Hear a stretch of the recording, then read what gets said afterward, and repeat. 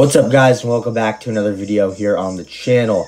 And in this one I have um little card recap here. So um I have uh, some LCS stuff uh, that I picked up and then I have a quick quick mail day just like three cards. So I'm super excited to do this so um let's get into it here. And um forgot to mention this in my um rebuild video but shout out to Steph Curry for breaking the three point record. Crazy milestone. Congrats to him. Well deserved. So um, I think I'm going to start off with the mail day because it's relatively quick. Uh, the first card we have is a Cade Cunningham uh, Hoops Tribute. So not a bad one to start off with. Um, and Cade actually has been playing pretty solid, so that one's pretty nice. Uh, we have two Optic cards here. Um, we have this one from 2020 to 21 Optic.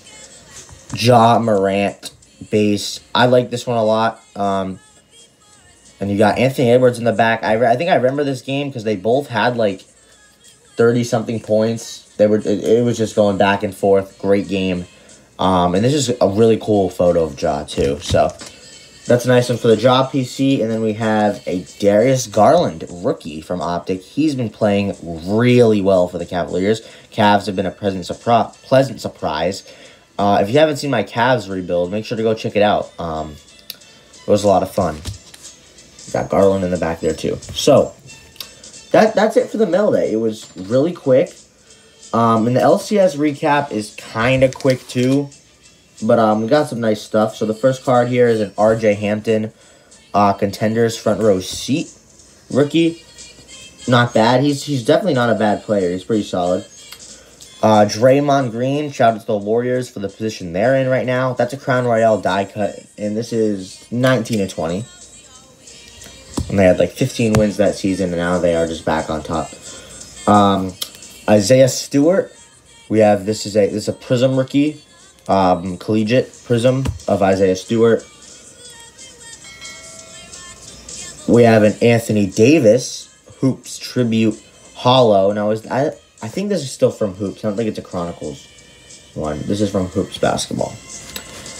Really nice. Uh, he struggled this season, unfortunately. He's shooting like a career low from three. So hopefully he can pick it up. Um, the Lakers are very interesting right now. So we have a global prospects of Deni Avdija, who's been pretty solid uh, as of late. So um, Deni Avdija, hopefully he can uh, develop into a, a really you know good role player type thing. That's that's what I see his role as. Maybe even a star player. Um, I don't know what they'll do with him and Kispert together. Um, should be interesting. So, and they still have Rui Hachimura, so it'll be interesting with them.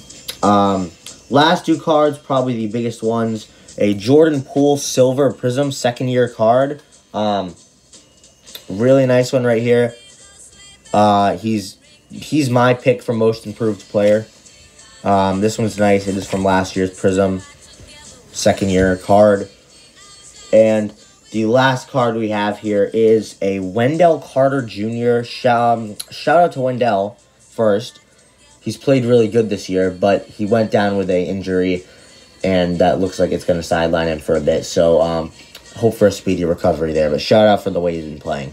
Um, this is a red Crown Royale card. It's uh, matching the jersey, the Bulls jersey, which is sick. And it is, yes, it is 1920. And this one is numbered to 99.